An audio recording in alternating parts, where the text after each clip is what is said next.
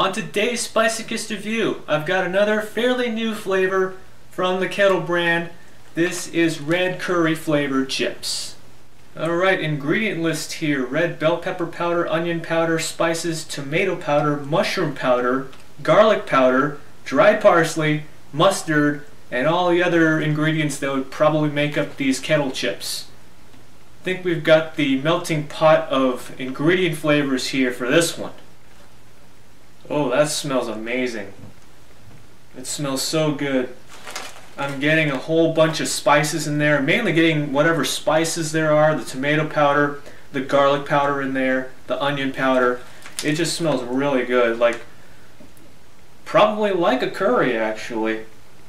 I've had many different types of curries, but maybe they're replicating like a Thai or an Indian influence on this. Take a look at that. Nicely coated and seasoned, actually. Nice hue on there. I can see a lot of the, the parsley on there and whatnot. This is going to be good, I'm, think, I'm thinking. Here we go. That's pretty good.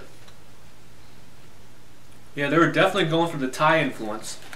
I have no idea what they mean by spices. It could be a combination of different types of common spices but I'm also getting the garlic powder, the onion powder in there. It's not as pungent or an intense of an experience as I would have imagined it to be. It's the flavor stays very faint on this actually. Probably my only knock against it, the flavors are amazing. And they all combine to work very well. Okay, that chip that I just had had more flavors on there. It seemed to be coated a lot more, so obviously you get more flavor. This one is just outstanding. Solid, solid. So longtime followers of my channel will probably know that I'm really partial toward kettle chips. This one's no exception. I'm giving this a 5 out of 5. Extremely good, outstanding. Go get this if you can find the stores. Alright, the ultimate test. Yeah, you knew it was coming. Alright, let's just get one of these here.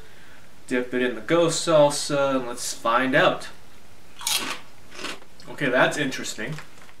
It's like the flavors from the chip combined with the ghost salsa almost formed what I'm thinking is ginger instead of garlic or onion powder or dried parsley or mushrooms. It produced a, a flavor of ginger. I'm not joking you on this one. I wish you can't make that stuff up, man. Yeah, the spices from the chips combined with the ghost salsa, it produced almost like a sweet, bitter type of feel to it, akin to ginger. Really bizarre, but hey, that's what science is all about. Kettle Brand, I am a huge fan of your red curry chips.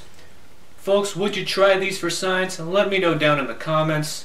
I'm going to be snacking on this all darn day. That is all for this Spicochist review, everybody. Embrace that pain, and I'll see you in the next video.